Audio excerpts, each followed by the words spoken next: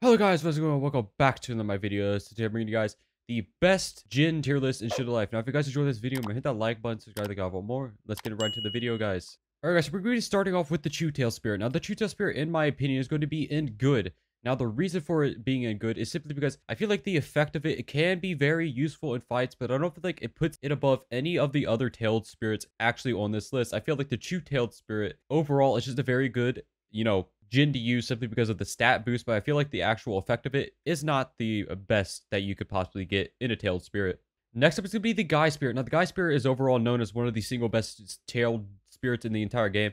The Guy Tailed Spirit's effect actually does almost do a full stun on, like, it's practically a stun ability. It makes it so they cannot see whatsoever and it does slow them down and it does a crap ton of damage as well simply because of the tailed beast bomb now also um it's pretty much as the same as the chew tailed when it comes to stats uh all these jins are going to be the exact same stat wise besides 10 tails the next up is going to be the ice tail spirit the ice tail spirit is going to be below the chew spirit because i feel like the ice tail spirit while it does do a lot of damage i feel like the effect of the tailed beast bomb isn't nearly as good as chew tails why it's why which is why it's going to be below it on the good tier list. Next up is going to be Core Tails. Now, Core Tails is going to be at the bottom, really good for now. The reason for this is because Core Tails does throw two be tailed beast bombs, which actually does more damage than it normally do, and actually gets a new weapon spec.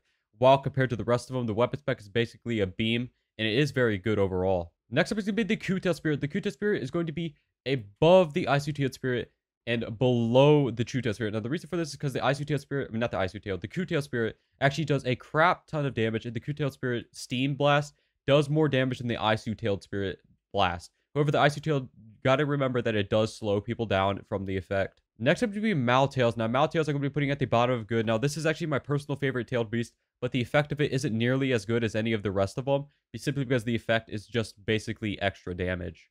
Next up is going to be Rabtail. Now, Rabtail is going to be at the top of really good. Now, the reason for this is because the first stage Z-Spec is practically just a better Dune's Fate. It does an absolute metric ton of damage. However, you cannot fly with the Rabtail Spirit, and that's why it's going to be in Broken.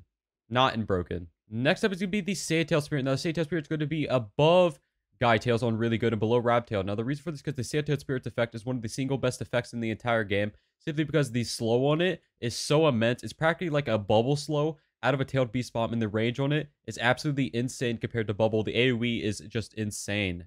Next up is going to be the Suntail Spirit. Suntail Spirit is going to be at the bottom of good. I feel like the Suntail Spirit is without a doubt the single worst tailed spirit in this entire game, besides when we get we're about to get to it besides One Tails, but we'll get to that.